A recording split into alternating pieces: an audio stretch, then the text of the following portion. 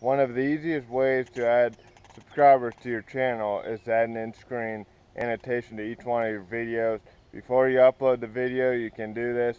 And basically all you do is you put, you click on end-screen annotation. I'll show you how to do it in a minute.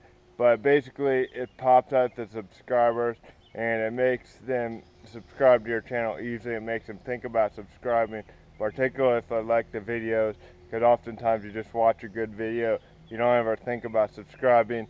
But if you see the end-screen annotation, you see the word subscribe and you see their icon at the at that that pop up at the end of the video, you'll really be it'll really be a lot easier to subscribe. So that's one of the reasons that I attribute the reason I got a thousand subscribers. First of all, you're gonna go into your video manager. You're gonna look at all your videos. You're gonna click edit. Once you have clicked edit, now you will go into a different screen and at the top, the fourth icon over, you'll see end screen and annotations. Click on that now.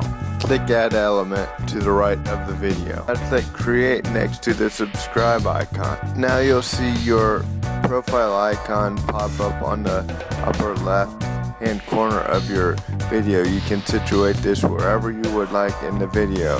Once viewers watch this video after you click save changes, this will allow them to subscribe easily to your channel when they click on that link.